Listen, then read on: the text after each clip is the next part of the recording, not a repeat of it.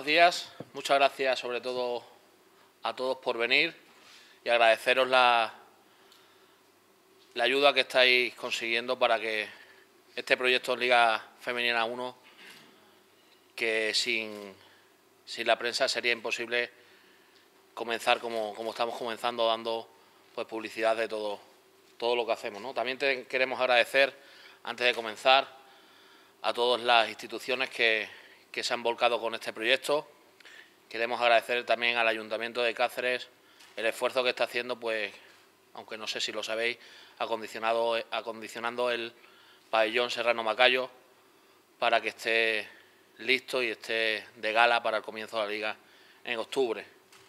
Antes de presentar la campaña, la campaña de socios para esta primera temporada de Liga Femenina, queremos darle las gracias y quitarnos el sombrero a Félix, de Barceló Cáceres, quinto centenario, por el trato que nos está dando, por, por la ayuda que, le da el deporte de nuestra ciudad, en especial al baloncesto femenino, que, que sin ayudas de, empresas privadas, pues quizás no estaríamos aquí ahora mismo. De verdad, Félix, que, que muchas gracias por, por cómo nos trata. Y bueno, ya que hemos agradecido a todo el mundo, de verdad la ayuda que, que nos están haciendo en esta pretemporada que, está realizando el Alcáceres. Está con nosotros Jacinto Carvajal, que es el entrenador de, del equipo, para presentar la campaña de abonado. El eslogan va a ser esta temporada, comparte nuestra pasión. Ya tenéis por ahí un folio con los precios, con el que va a ser el cartel de, de la campaña. Creo que, que 50 euros para, para el público en general, hemos querido premiar a, todos los aficionados, a toda la ciudad de Cáceres, para que disfrute con nosotros de esta temporada de Liga Femenino 1. Yo creo que, que un precio muy barato, que apenas van a disfrutar de, de 13 partidos por apenas 3 euros. Creo que ver equipos de primer nivel europeo este año en el Serrano Macayo por ese dinero es un regalo y es un regalo que el club quiere hacer a toda la ciudad, ¿no? Si por 50 euros la, gente piensa en hacerse socio, pues yo creo que no tiene que tener ninguna duda. Es un premio y lo que quiero, lo que queremos es que compartan con nosotros este sueño, que compartan con nosotros esta, esta pasión, ¿no? También queremos decir que en el, el carnet de abonado los partidos de pretemporada serán gratis. Por 50 euros la liga, la pretemporada y el ayudar al equipo a, poder mantenerse, que de momento va a ser pues el objetivo del club y sobre todo que la ciudad de Cáceres disfrute del baloncesto de élite, ya que el Alcáceres está en la máxima categoría. A partir de mañana ya se pueden comprar los abonos en nuestros, en nuestros patrocinadores, el montadito de, de enfrente de la residencia San Pedro Alcántara, en Interesport, y en Banca Puello. ¿vale? A partir de mañana, por 50 euros, en esos tres establecimientos se pueden comprar el abono. Además, lo pueden hacer para comodidad del abonado, por si alguien fuera de Cáceres lo quiere hacer o alguien que esté de vacaciones. Se puede hacer por el Twitter del club, que es CB Alcáceres, en mayúscula, o por eh, mandando un correo al, al correo electrónico del Alcáceres, que es Club Baloncesto Alcáceres, todo junto, sin guion, con Q y con Z, arroba gmail.com. ¿Vale? Pueden hacerse en Banca Apoyo, entre Sport, el montadito también por Twitter y por eh, Gmail que se pongan en contacto con nosotros y, y sin problemas se harán socios. A continuación vamos a, antes de que hables Jacinto, vamos a ver el vídeo promocional de la campaña de abonados de la temporada 2000 14-2015. Queremos agradecer pues, a RC Media, que eh, lleva colaborando con el club varios años y que tenemos mucho que agradecer y entre ellos pues, la colaboración en este vídeo promocional para el, la campaña de abonos. Estará este vídeo en redes sociales, en internet, pues ya dentro de un rato. Y nada, que, que queremos eso, ¿no? que nos ayudéis a, a concienciar a la gente que por 50 euros es un regalo disfrutar del baloncesto de élite. Creo que los precios hemos pensado en, la afición, en la situación en la que está la, sociedad ahora mismo y, es un regalo que nosotros llenemos el pabellón con ese precio. Muy importante para para ver a, equipos de, la élite del baloncesto español y, bueno, y europeo. ¿no? Va, a venir por Cáceres el Perfumerías Avenida, que es campeón de Euroliga, va a venir equipos históricos como Gran Canaria, como Rivas, el reciente, el reciente campeón de Liga. Luego, bueno, pues eh, jugadoras muy importantes eh, y, bueno, yo creo que, el mensaje es ese, ¿no? que el aficionado va a tener... Eh, al alcance de su mano, por un precio muy económico, pues la oportunidad de ver esa, esa élite del baloncesto femenino. Eh, bien, luego estar agradecidos porque la afición, eh, la afición al baloncesto femenino en Cáceres ha ido en, en aumento cada temporada. Empezamos con, bueno, yo recuerdo una primera época del, del, del anterior club, con 30 40 personas en el pabellón recuerdo nuestro inicio, que sí que empezamos con, con 100, 150 personas, el punto de inflexión que marca la, fase de ascenso del año pasado, que, casi se llena, bueno, se llenó el, pabellón en la, en la, final, y el año pasado pues tener alrededor de 300 socios y entradas de, de bueno, una media de 300 y pico, 400 personas, pues la verdad que es una evolución tremenda. Nuestro sueño, pues este año, eh, poder acercarnos al, al lleno, ¿no? Sería, sería importantísimo y sería una ayuda increíble para el equipo para, para lograr la permanencia. Eh, yo creo que ahora el objetivo del equipo es la, la permanencia. Ha costado muchísimo, ha costado mucho a, la directiva, a las jugadoras y a los aficionados, que también han tenido mucha culpa de, del ascenso y ahora tenemos entre todos que agarrarnos a, a, esta categoría. Eh, para eso yo creo que va a ser clave las victorias que consigamos en casa y, ahí va a ser determinante el apoyo de la, afición. Entonces, bueno, invitarles a que, a que se hagan socios y, bueno, sigamos aumentando masa social y, nos apoyen para conseguir este objetivo. Eh, llegamos a 300 socios, pues nos gustaría por lo menos doblar esa cantidad, ¿no? Al estar en la máxima categoría, con 600 o 700 socios, creo que el club estaría estaría enormemente satisfecho y bueno, nuestro sueño es quizás tener problemas para, para vender entradas los días de partido porque, porque están todos los aficionados abonados y, y no podemos vender entradas. Hay que, hay que colocar un dispositivo de 24 segundos en las canastas, ¿vale? que antes lo teníamos en suelo y, va a haber que colocarlo en, bueno, en el soporte de la canasta. También hay que, hay que cambiar el marcador por exigencias de, normativa.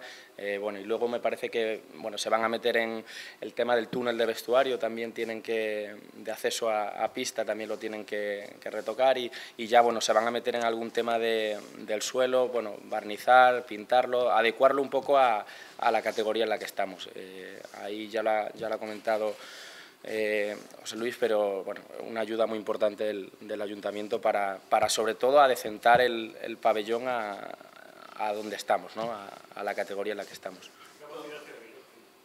Yo creo que hablábamos de 1.200... 1.300, por ahí 1.200, 1.300. Todo eso ya lo tenía, lógicamente, el pabellón multiusos, sin embargo, parece que todas las personas iban por el calle. ¿Es el escenario ideal para vosotros? Sin duda, sin duda, porque... Eh, eso, que venga un rival y que, y que venga una pista con, con 800, 900 personas eh, sobre un aforo de 1000, 1200, como estamos hablando, eso es, eso es muy importante. En cambio, irnos al multiusos y ver el, aunque llevásemos esas 1000 personas o, siendo muy ambiciosos llegásemos a, a, a 1500, que yo creo que ahora mismo no es ahora mismo no toca aún, eh, yo creo que se vería el pabellón vacío. Entonces yo creo que nunca, nunca ha pasado por, por, la cabeza de, directivos ni, ni, del club eh, el, hacer un traslado al, al multiusos. Creo que el, éxito de, este proyecto eh, se ha fraguado en el, en el Serrano Macayo y, y, bueno, y ahí se va, se va a seguir. Decía incluso Pacheco que Sí, yo creo, bueno, y nosotros seguramente hemos copiado a, otros, ¿no? O sea, yo creo que estar en un sitio recogido y donde el, público de verdad hace, ruido y, el equipo rival lo siente, yo creo que es mucho más, más agradecido para las jugadoras y, para, para, el equipo, ¿no? Pues vamos a anunciar nuestro, nuestro, segundo, nuestro segundo fichaje, nuestra quinta, quinta jugadora, después de Carla, Jara, Elena y el fichaje de Andrea Vilaró. Eh, os va a repartir el compañero, bueno, para que no trabajéis mucho, traigo un folio para, para que tengáis datos de Afure Yemerigbe. Es el nuevo fichaje del, del Alcáceres, es alero de 1,81, pesa 72 kilos y tiene 22 años. Eh, nació en febrero de 1992. Viene de la prestigiosa Universidad de, California, eh, donde ha jugado las últimas cuatro, temporadas. Eh, un punto a favor e importante de sus fichajes es que tiene pasaporte nigeriano, Cotonou y no ocupará plaza de extranjero en esta liga. En el último año fue titular en los 32 partidos y la tercera mejor anotadora de su equipo con 12,1 puntos, 4,2 rebotes y 2,2 asistencias. 33 minutos de media, jugado los, eh, la, temporada pasada la Final Four de la universidad y su universidad, la de California, es considerada una de las mejores universidades americanas. Una jugadora, ya os hablará de sus características luego Jacinto, que destaca por ser buena anotadora, tiradora, penetradora y que además es muy buena defensora. De confección de la plantilla, eh, las, las, jugadoras perimetrales, eh, habíamos cerrado a, Carla, eh, con Vilaró, que se anunció el, otro día, cubrimos un poco el puesto de dos y de uno, y Jara, eh, bueno, un poco también el, el, dos. Entonces, digamos que teníamos las, las perimetrales más pequeñas y ahora nos faltaba un poco la presencia física, los, los aleros grandes, ¿no? por ahí es por donde, bueno, fuimos buscando y bueno, apareció esta jugadora y la verdad que hemos apostado claramente por ella porque sí que nos da ese, ese corte físico que ahora mismo nos faltaba en la, en la plantilla. Eh, ella es una jugadora que viene de, California, que es una universidad top en, en, la, en, NCAA. Eh, estamos hablando que ella hace Final Four, eh, hace la pasada temporada hace Final Four, o sea que su equipo juega eh, los cuatro mejores equipos de todo Estados Unidos eh, de la mejor división, eh, ella está en ese equipo siendo titular siempre y jugando una media de 33 minutos. Entonces estos datos yo creo que dicen mucho de, la jugadora que estamos fichando. y luego, sobre todo, que tiene formación totalmente americana. Ella tiene ese pasaporte, ese pasaporte nigeriano, pero al final es, como una jugadora que toda su formación es, es americana. Pasa algo similar como cuando fichamos a, a Didi Madú, que era una jugadora Cotonou, pero, pero no es que venga de, de, África, o sea, que es que ha estado, se ha formado en Estados Unidos. Al final yo creo que es una jugadora que en ese sentido es un extra contar con una jugadora, con una jugadora así. ¿Tú no me preguntas, Paco? ¿O ya no preguntar? No, ya podéis preguntar lo que queráis.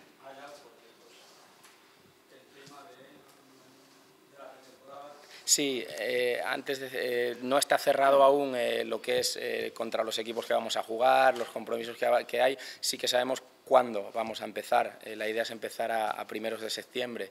me parece que el, el 1 además coincide con, hablo de memoria, no sé si lunes, entonces intentaremos el, día 1 de septiembre tener ya aquí a todas las jugadoras y arrancar, porque el calendario tampoco ha salido, pero sí que sabemos que va a ser un, un inicio bastante, bastante duro, porque se comprime mucho el calendario en el mes de octubre y me parece que las siete, ocho primeras jornadas se juegan en sábado, miércoles, sábado, miércoles, entonces eh, hay, que, hay que empezar pronto y hay, que, hay que empezar a trabajar en el, el 1 de septiembre. Ya digo que no tenemos mucho más detalles de pretemporada.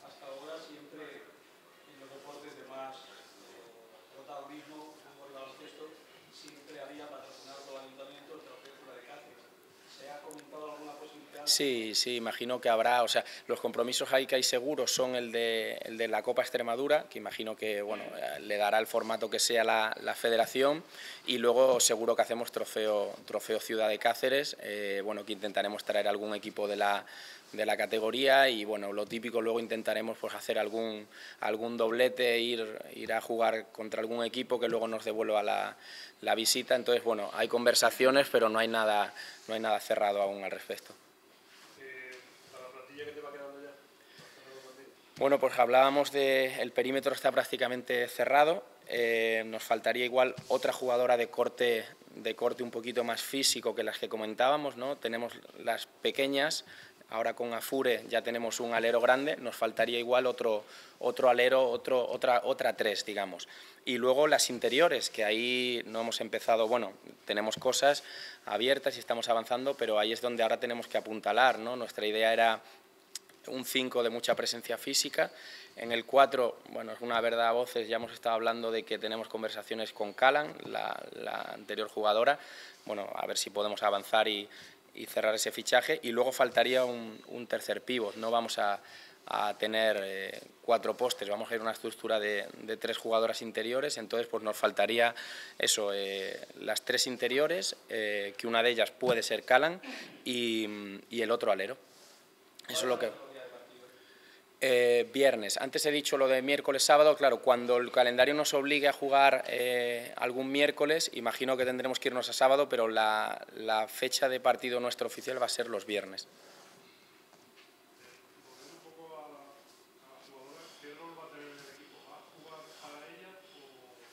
No, va a jugar para lo que yo diga. O sea, en el... No, no. Eh, hemos, en este equipo ha habido, el año pasado había muchísimas buenas jugadoras, jugadoras que venían anotando muchísimo y siempre ha habido una generosidad, una generosidad muy grande. ¿no? mis equipos siempre se han, se han caracterizado por ser generosos y, y no depender de... Eh, aunque una jugadora anote más, eh, nuestro juego siempre ha sido un juego bastante colectivo y ella viene a, a acoplarse a esa, a esa idea.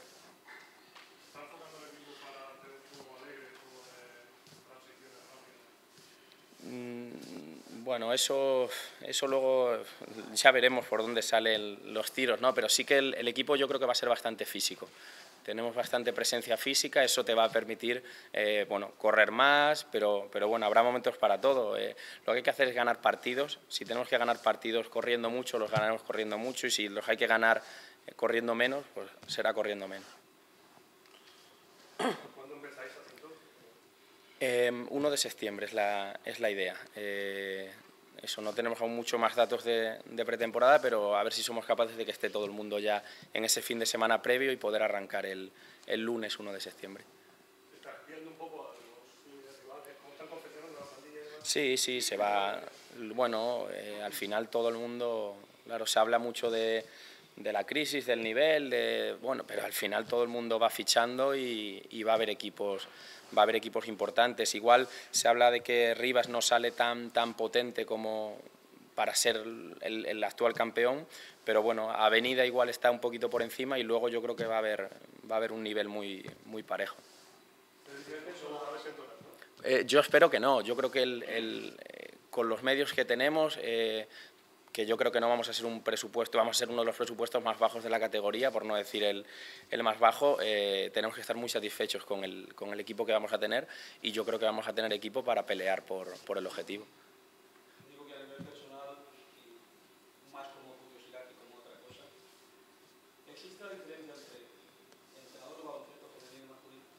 No, nosotros...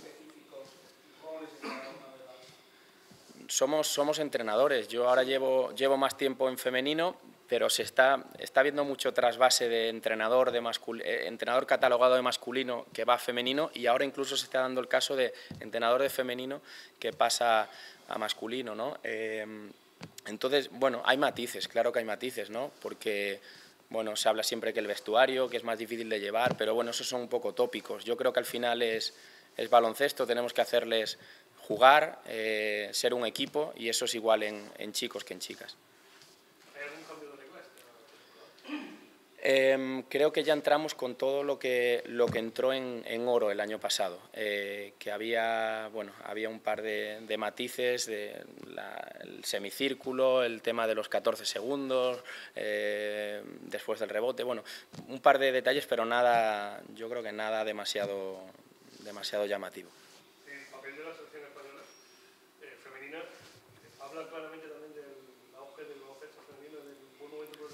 Sí, ahora el baloncesto femenino yo creo que está en, un gran momento. Las, selecciones de categorías inferiores están consiguiendo todos los veranos medalla. Eh, ayer o antes de ayer consiguieron la plata en el, en el europeo, la U20, la U17 hace bueno, una semana apenas eh, también la plata del mundial y, bueno y dentro de poco esperemos que la absoluta pues, pues haga un buen papel en el, en el mundial que ahora mismo es la actual campeona de Europa todo eso tiene que tener un reflejo en, bueno, sobre todo en la base, en, el espejo que esto supone para, para, las categorías inferiores y yo creo que sí que hay que agarrarse a esto para, para bueno, lo que hablamos al principio, a ver si somos capaces de, de, llevar mucha gente al pabellón y enganchar al, al femenino.